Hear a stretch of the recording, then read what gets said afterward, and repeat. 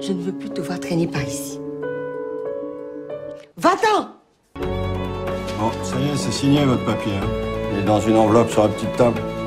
Le certificat d'aptitude, euh, J'ai poursuivi avec un BTS. Enfin, je, j'ai pas, genre, euh, voilà. Bonjour. Je vais faire signer un papier. Voulez des bons blancs quoi Frotter, nom de Dieu.